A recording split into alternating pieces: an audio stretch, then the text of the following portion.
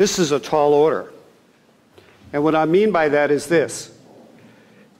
Every time I come to the collect for St. Luke the Evangelist, whose day, of course, we commemorate today, I feel like it in some ways, it not only lays out something that's important, but it also sort of gently takes me by the front of my shirt and says, Come on, you can do this too. What is it?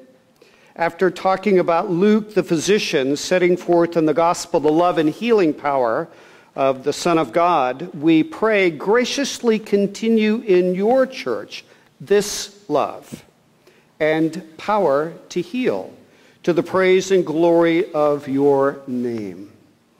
In other words, the assumption of the prayer is, is that the life and ministry that we see in Luke Acts is in fact meant to continue in the church of God. And that there should be some genuine parallel that in many ways, in the same way that God by his Holy Spirit acted through his Son and through his church, that there would be these same markers of things continuing to manifest themselves in the life of God's church in a way that, in fact, points people to Jesus Christ. Now, I don't know about you, but that was not a part of my seminary training. And quite frankly, especially when I was in seminary, any talk about the healing ministry of the church was either relegated to a group of people that prayed but not much ever happened. This has changed, but then that was what it was like to be in the order of St. Luke. Or these kind of crazy charismatics that looked a lot more like Pentecostals than they did Episcopalians. And as my mother said to me very pointedly, we are not one of them.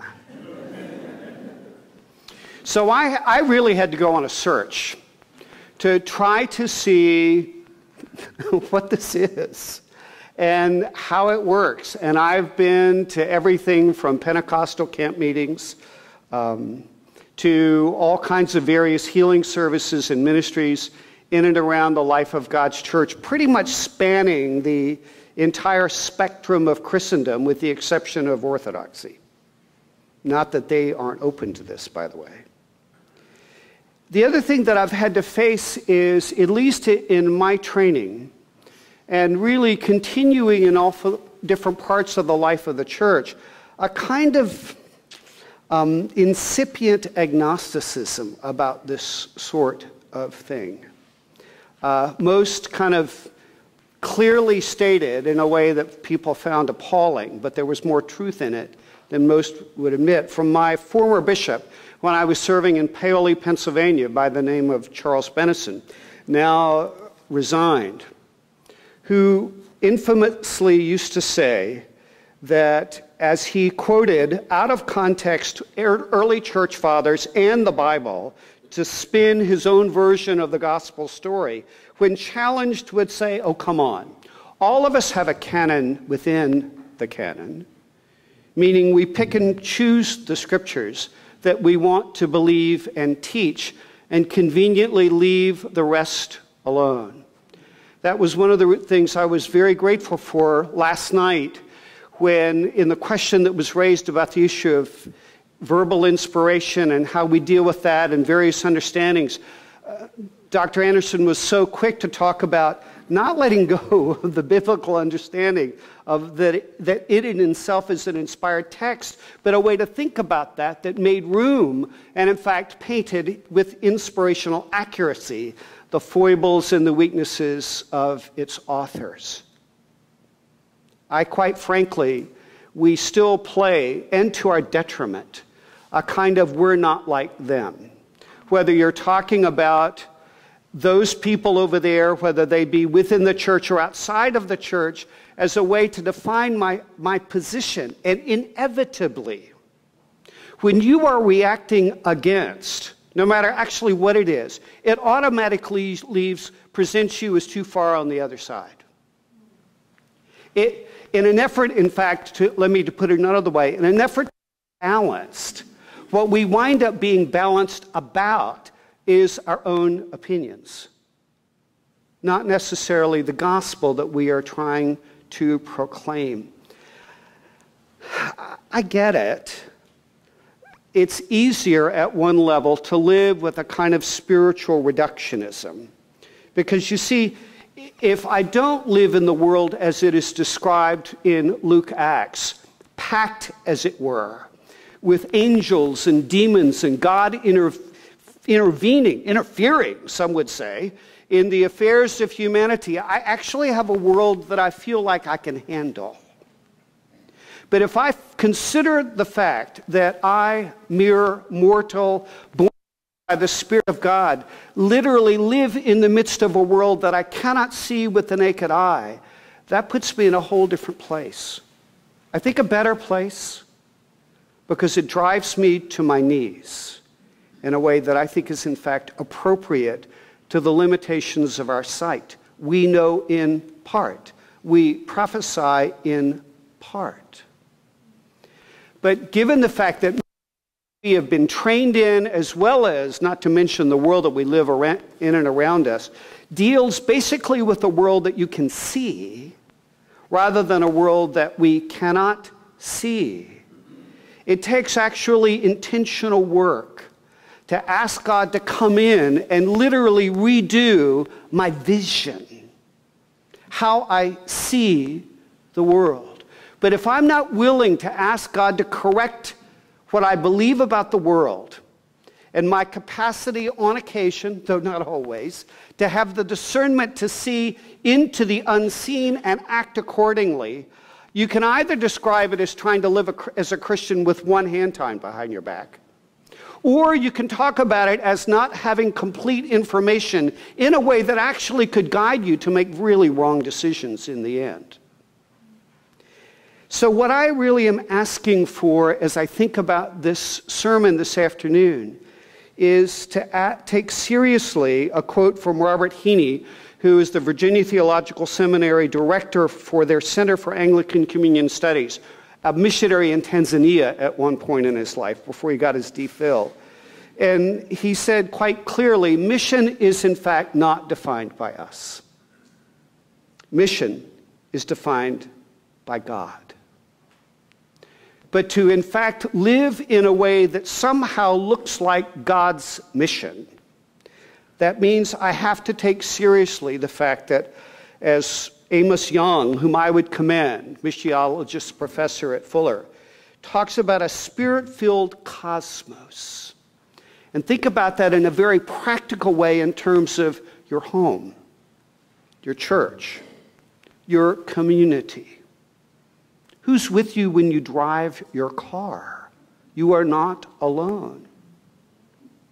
And begin to get used to the fact that you actually have a place in this very alive spiritual universe. And if Lewis, C.S. Lewis is to be believed, a universe more real than the material world that we can see, that might have a tremendously powerful impact on our encounters with, as you rightly said, quoting Lewis again, no mere mortals. Think about it this way.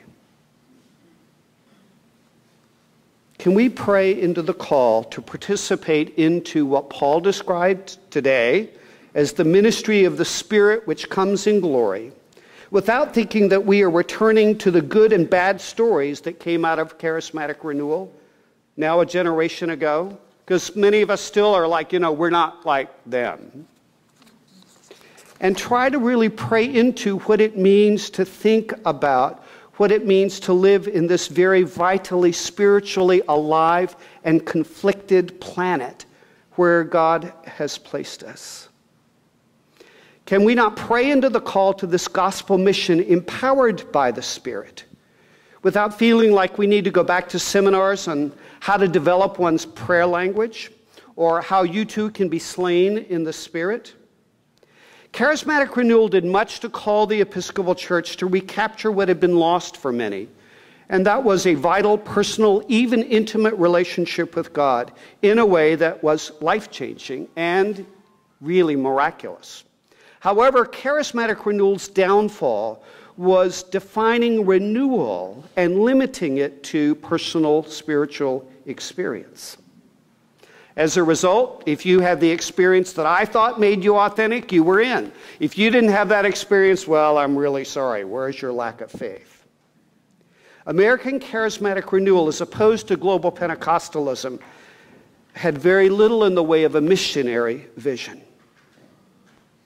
But in Luke Acts, empowerment for ministry included saying yes to being in the flow of what God is doing, God's definition of God's mission, seeing the world as a planet, planet packed with angels, archangels, and all the company of heaven. Empowerment for ministry is not limited to spiritual experiences. Empowerment for ministry is saying yes to being God's servant, and out of that, allowing Him to flow through you as He chooses, not as you would like. I, let me tell a small story out of that earlier era. I was with a small group of young adults. I was 25, 26 at the time, newly ordained priest serving at All Saints Winter Park. And I was part of a small singles group, Christians that met at St. Michael's in Orlando. And we were having this conversation about the gifts of the Holy Spirit. After it was over, a woman came up to me, and I had somebody with me that was just available to pray for me.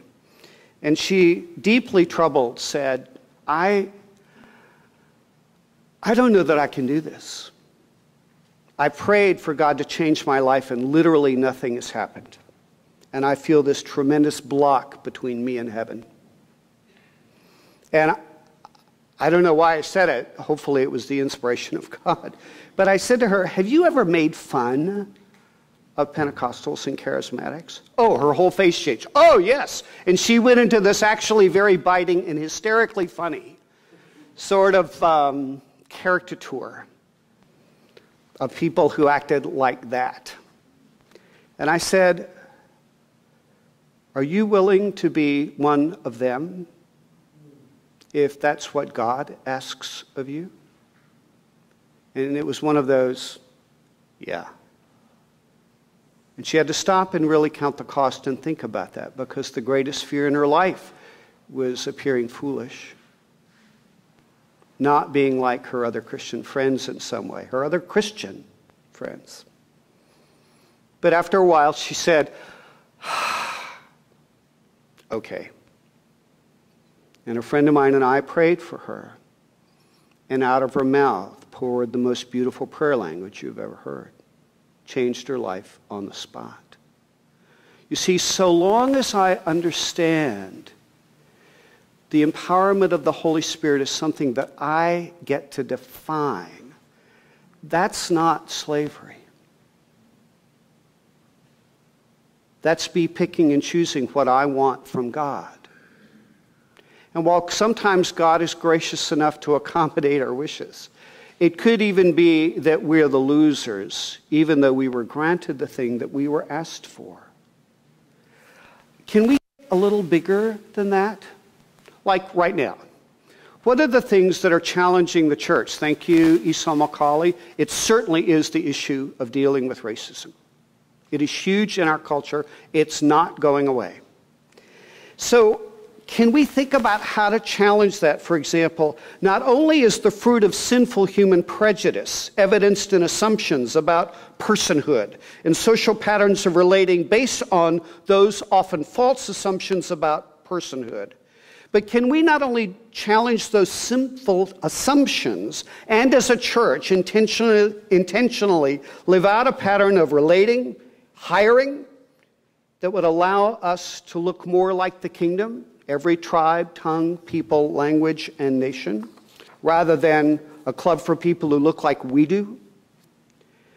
But also see those patterns as the work of demonic principalities and powers, causing us as we step into this place of reconciliation with prayer and fasting, as was recommended to us, that those powers would be broken and that new life would bring forth into move into the life of our community. You see, when we want to think about something like that, what we are quick to do is borrow the political rhetoric around that particular issue, rather, and thank you for challenging us, thinking theologically about what is at stake and what's actually going on.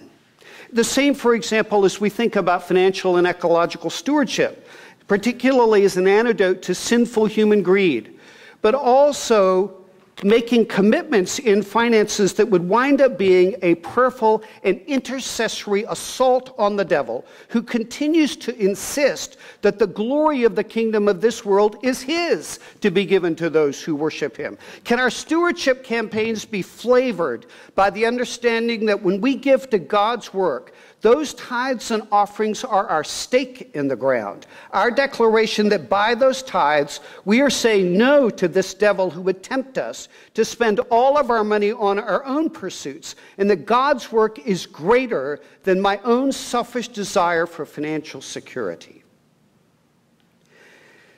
Have we so little trust in God's supernatural ability to provide? Or do we not want God to challenge both our personal and our ecclesiastical financial rights to spend the money as we want? Can you not see that the very issues with which we wrestle with at the deepest level, and I, I could go on, always when they reflect sinful patterns that bind us from being obedient to the thing the scripture teaches is not just an issue of my own brokenness, although it certainly is that, but it is also how I am literally played by demonic powers to continue that reign, even though it is in contradiction to the reign of God that I declare with all of my heart. In other words, to live a life empowered by the Spirit of God is not to somehow try to duplicate some personal heightened spiritual experience that causes me to feel better than, uh, about myself. And as a result, I've experienced my own Pentecost and I'm the better for it. It's incredibly truncated and untrue to the Luke Acts reading where people empowered by the Spirit of God formed communities, gave up what they had, laid down their life for the mission of God, and caused even pagans to say, These are they that turn the world upside down.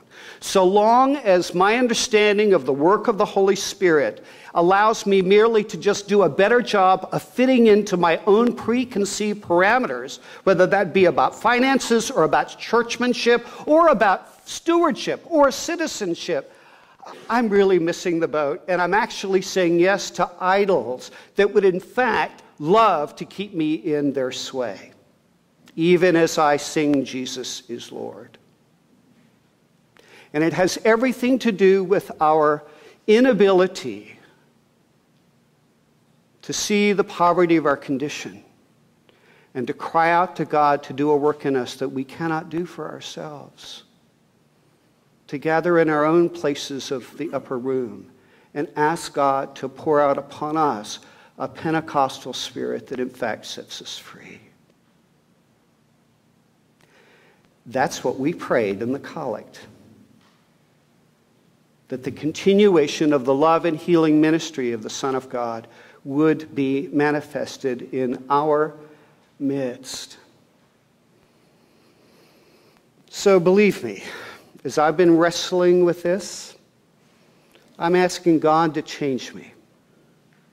Change me. It's going to cause me to have conversations about how my wife and I spend our money. It's going to cause me to try to think differently about what it means to be an apostolic bishop. I can't do anything other than that. I believe it is providence that caused this feast day to be the day when we would do the renewal of our ordination vows. So that what we can only say to God is, hopefully, I will what? With God's help. Just like we say to those who are presented for baptism and for confirmation. Because the promises are too high and too great for us to say anything other than that. And to allow to know, to know with real joy that as we come, even when it is half hearted, which most of us do, to that kind of transforming work, God does take the seeds that are offered to him and plant sometimes great and mighty plants in the midst of our weaknesses, even when we don't know what we're asking for. So, beloved, in your community, in your parish, what is the spiritual condition like? Asking God to show you how He sees your city, your community, your parish. And ask God to work in you and your parish such great mercies that the love and healing power of the Son of God would, in fact, be manifested. Why? That Jesus might be glorified always, and that the world might believe. Amen. Amen.